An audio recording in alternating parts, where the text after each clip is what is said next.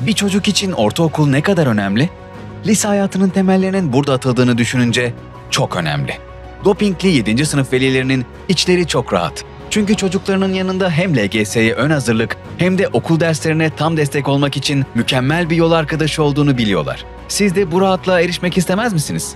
O zaman arkanıza yaslanın ve dopingle nasıl severek ders çalıştığını, yazılılardan yüksek not aldığını ve LGS binasının temellerini nasıl sağlam attığını izleyin. dopingáfıza.